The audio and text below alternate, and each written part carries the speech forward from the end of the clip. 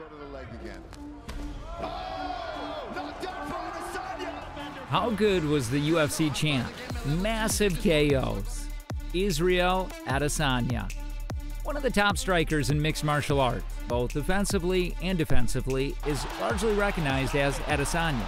Kelvin still fighting. Israel. Israel Adesanya has defeated some elite attackers in the past, most notably Anderson Silva and Robert Whittaker, but no one has yet to equal his technical proficiency. Can Alex Pereira defeat him? Oh, Let's look closely at the past There was a jumping knee, and now Israel. and present of this UFC champ, Israel Adesanya. God, the spray of blood. Oh, they can stop this fight. Adesanya is currently undefeated in the middleweight category of the UFC. His lone defeat occurred in March 2021 when he moved up to the light heavyweight class and was defeated by Jan Blachowicz via a points decision. Adesanya has a record of 23-1 in mixed martial arts competition, with 15 of his wins coming through knockout. There is a widespread consensus that Israel Adesanya will suffer a knockout loss in his upcoming defense of his UFC middleweight title. The controversial assertion was made by Henry Cejudo, who is a former UFC champion in two different weight classes. Cejudo feels that Adesanya Brazilian rival Alex Pereira possesses greater punching power for a battle that will most likely be decided on the feet rather than on the ground. On November 13th at UFC 281 in New York City, Adesanya will make his championship defense. Pereira has already beaten Adesanya twice in kickboxing, once by unanimous points in 2016 and then through a left hook knockout the following year. This makes this fight a difficult one for the New Zealander, who was born in Nigeria. He won titles in the middleweight and light heavyweight division of kickboxing for the Glory organization, and now Pereira is making a name for himself in the mixed martial arts community. In the ring, he has a record of 6 1, Distance is able to avoid that left kick. and his current unbeaten streak in the UFC spans three fights and includes two performances that earned him Fight of the Night honors. Cejudo, a former Olympic wrestling champion who won the bantamweight and flyweight titles in the UFC during a career that saw him go 16 2 up until the year 2020. Believes that Pereira has a more well-rounded game than Adesanya does, and that this difference could prove significant at Madison Square Garden. On his channel, Cejudo stated, I think Alex is going to get it. Because of this, becoming well-rounded is really crucial if you want to have a successful career as a mixed martial artist. You're more than just a striker who can also defend well. Because what happens if you face another good striker who is better than you at striking? You're unable to take him down.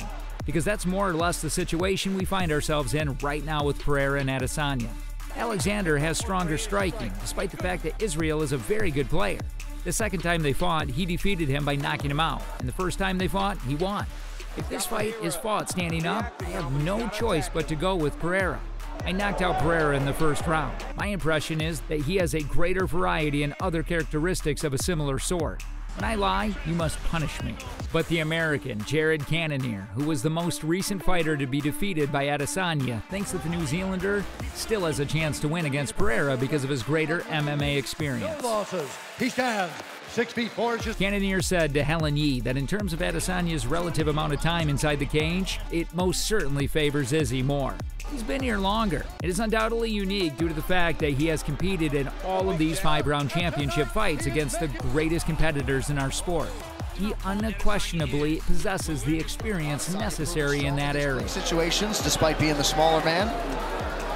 Cannonier, who fought Adesanya to a draw before losing via unanimously decision in Las Vegas in July, believes that the New Zealander's attacking game has also undergone some subtle changes since he left kickboxing.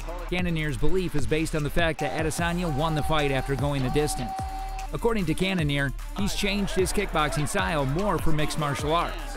Alex's posture still has something of a Every single fight, Joe, that he had. kickboxing foundation to it. It's not to suggest that it's going to hurt him in any way, but in terms of MMA, it's something that might be used against him.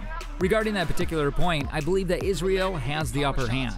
Israel Adesanya versus Alex Pereira head-to-toe breakdown. Pereira's most dangerous. He's making Izzy. Israel Adesanya, the current UFC middleweight champion, is one of MMA's most powerful forces. But he will soon face Alex Pereira, a huge Brazilian knockout specialist who many fans doubt can defeat him. It'll take place this Saturday in the main event of UFC 281, with the Manhattan skyline serving as the backdrop and it has the focus of the MMA community, unlike few other fights this year. Wild exchanges is where Pereira's. However, this will not be Adesanya and Pereira's first encounter. In the Glory kickboxing ring, the two middleweights fought each other twice. Pereira triumphed both times, first by unanimous decision in China in 2016, then by knockout in Sao Paulo the following year. This Saturday, many experts believe the Brazilian to repeat the feat. Under MMA standards, it's obvious a very different matchup. The possibility of a grapple still exists, but the mere knowledge that it does changes everything. Israel Adesanya has defeated some elite attackers in the past, most noticeably Anderson Silva and Robert Whittaker, but no one has yet to equal his technical proficiency. Dan Alex Pereira. Additionally, the Brazilian has absurdly strong stopping power, with his left hook being especially lethal. Inquire about it with Sean Strickland.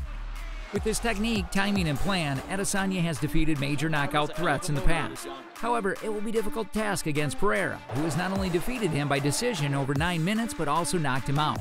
The numbers show that a challenging matchup this is for Adesanya on the feet. Pereira really outperforms him in a couple significant areas.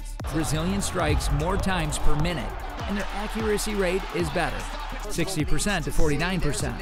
He receives more blows per minute than Adesanya. That's 3.36 to 2.67.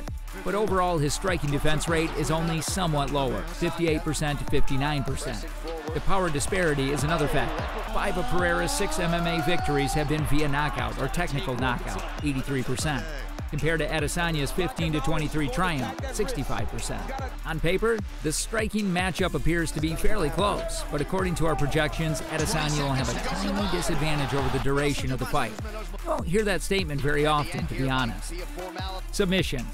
Together, Israel Adesanya and Alex Pereira have fought in 31 MMA matches, but we have seldom ever seen either fighter use his submission game.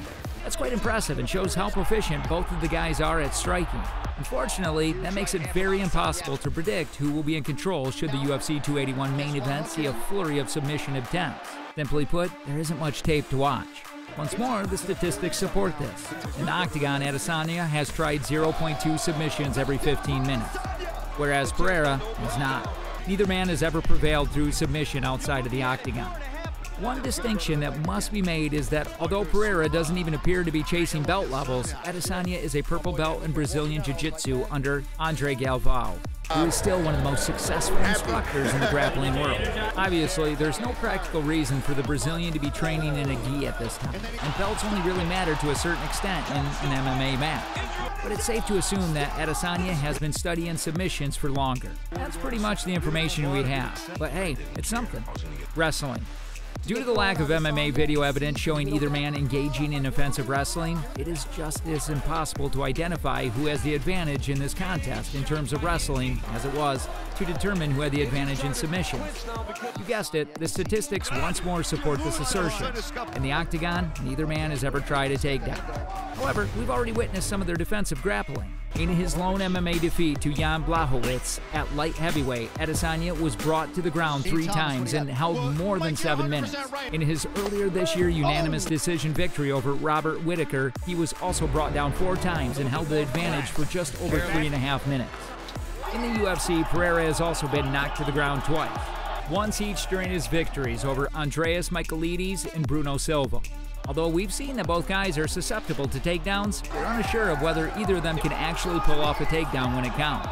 There isn't much information available, but once more, we're going to give Adesanya the advantage because he has been involved in MMA competitions for a little longer, has fought in more than three times as many matches, and has spent more time on the mats with top-tier fighters. What do you think this video? Tell us in the comment section below. If you enjoyed the video, be sure to hit the subscribe button before you go. Thanks for watching.